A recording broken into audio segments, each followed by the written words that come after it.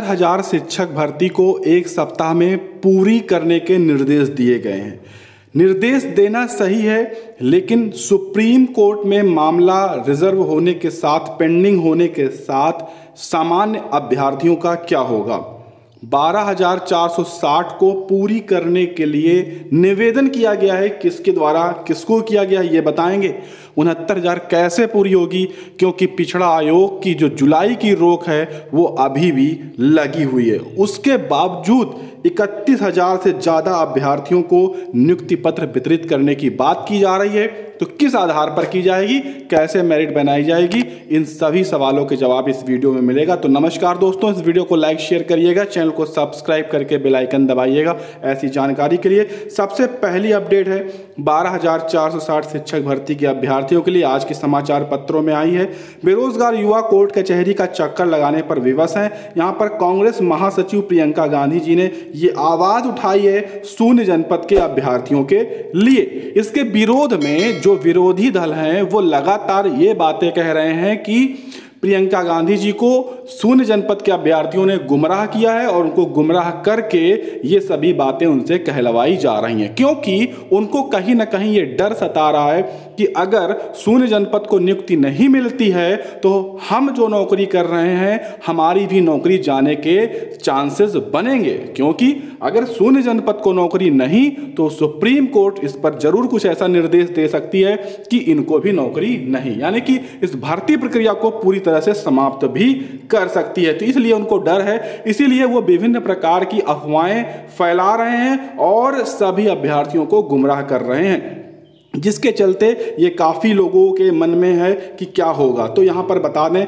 कि प्रियंका गांधी जी ने योगी आदित्यनाथ जी को एक पत्र लिखा है और वहाँ पर उनसे निवेदन किया है कि शून्य जनपद के जो अभ्यर्थी हैं, उनको जल्द से जल्द नियुक्ति पत्र दिया जाए और इस मामले को कोर्ट से जल्द से जल्द निस्तारण करवाया जाए, यह यहाँ पर सभी चीज़ें कही गई हैं। साथ में यहाँ पर देखेंगे कि भर्तियों में तेज़ी लाने के लिए उत्तर प्रदेश के मुख्यमंत्री ने एक आदेश जारी किया है, जहाँ पर कहा है कि बेसिक शिक्षा विभाग की जो उनहत्तर हज़ार शिक्षक भर्ती है, उसमें रोक के बावजूद जो इकहत्तर, इकतीस हज़ार सौ इकसठ पद हैं उन्हें जल्द से जल्द भरा जाए। उन्हें जल्द से जल्द यहाँ पर भरा जाए और उसे भरने का निर्देश जारी किया गया है। लेकिन बेसिक शिक्षा विभाग का भी निर्देश नहीं है क्योंकि आज रविवार है। कल सोमवार को इसका निर्देश देखने को आपको मिल सकता है पूरी काउंसिलिंग प्रक्रिया।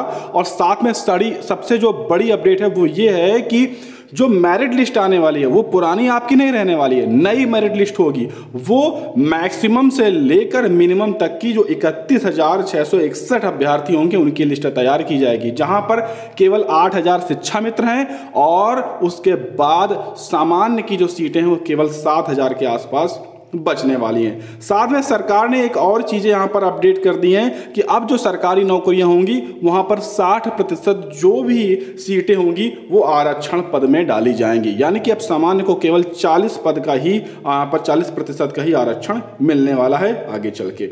फिर यहाँ पर आगे आप देखेंगे कि ये जो आ, सबसे बड़ा यहाँ पर अपडेट करके रखा है उत्तर प्रदेश सरकार के द्वारा कि योगी सरकार नौकरियाँ देने में पिछली सरकार से आगे निकल गई है ऐसा न्यूज़ पत्र के माध्यम से कहा गया है। मतलब सबसे बड़ा यहाँ पर झूठ ये फैलाया जा रहा है कि सबसे ज़्यादा इन्होंने रोज़गार दिए हैं तीन लाख से ज़्यादा भर्तियाँ पूरी कर दी हैं ऐसा कुछ भी यहाँ पर नहीं है। आप देख सकते हैं सभी अभ्यर्थी जो इस तरह के तैयारियाँ करते हैं, उनको पता है कि कितना सच है यहाँ पर।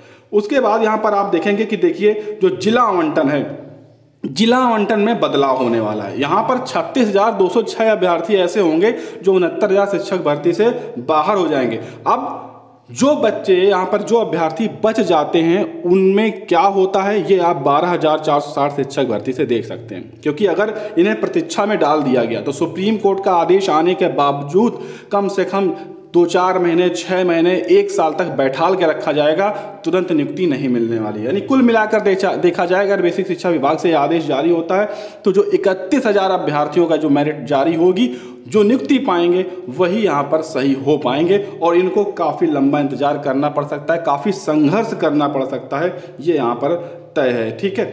उसके बाद यहाँ पर अध्यापकों की जो भर्ती है, उस पर सख्त निर्देश दिए गए हैं। अब इस निर्देश को बेसिक शिक्षा विभाग किस प्रकार से फॉलो करता है? क्योंकि सबसे बड़ी अपडेट सुप्रीम कोर्ट में यह मामला पेंडिंग है।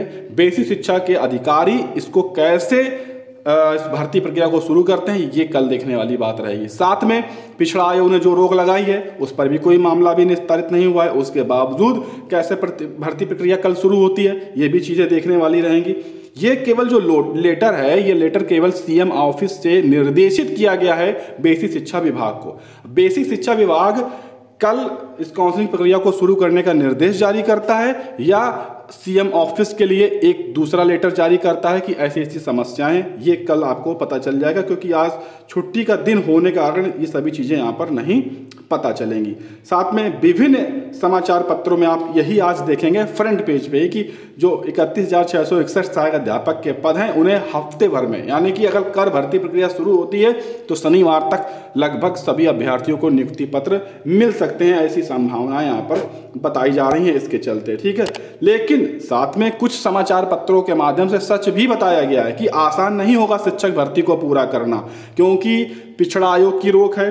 साथ में सुप्रीम कोर्ट की यहाँ पर आदेश जो है वो रिज़र्व किया गया है। देख रहे हैं, इकतीस हज़ार छह सौ इकसठ पदों पर आरक्षण के मानक शिक्षा मित्रों की श्रेणी का निर्धारण होगी चुनौती यहाँ पर। ये सभी चीज़ें साथ में जो अभ्यर्थी बाहर होंगे, जो अपनी नौकरी गंवाएँगे, उनकी नाराज़गी भी तो सरकार को झेलनी पड़ेगी, ये भी यहाँ पर साफ़ तौर पर बताया गया क्योंकि नौकरी पाने वाले केवल इकतीस हज़ार हैं और छत्तीस हज़ार से ज़्यादा, पैंतीस हज़ार से ज़्यादा अभ्यर्थी तो बाहर का रास्ता यहाँ पर देखेंगे तो उनको भी यहाँ पर नाराज़गी होगी कि ऐसा कैसे हो रहा है, ये सभी चीज़ें यहाँ पर बताई गई हैं, ठीक है? तो यहाँ पर आप देखेंगे कि बदली हुई कट ऑफ़ में आठ हज़ार अठारह केवल शिक्षा मित्र ही शामिल किए जाएँगे, जिसका नुकसान सामान्य जो अभ्यर्थी हैं उनको यहाँ पर देखना पड़ेगा, क्योंकि ये पूरे जो अभ्यर्थी हैं लगभग सामान्य कैटेगरी में ही जाने वाले हैं और इसके बाद सात हज़ार के आसपास ही सीटें बचेंगी और ये जो भर्ती प्रक्रिया है वो साठ पैंसठ पर पूरी होगी। जो उच्च मेरिट के अभ्यर्थी होंगे, वहाँ से यह भर्ती प्रक्रिया शुरू होगी और कम मेरिट तक के अभ्यर्थियों को नियुक्ति पत्र यहाँ पर वितरित किए जाएँगे। ये सूचना यहाँ पर मिल जाएगी। लेकिन ये सभी चीज़ें इतनी आसान नहीं होंगी, बाकी आपको समय आने पर सभी चीज़ें क्लियर हो जाएँगी। आगे की जो जानकारी होगी वो आपको दी जाएगी। अगर ये जानकारियाँ पसंद आई हो तो वीडियो को लाइक शेयर करने के साथ चैनल को सब्सक्राइब करके बेल आइकन ज़रूर दबा लीजिएगा।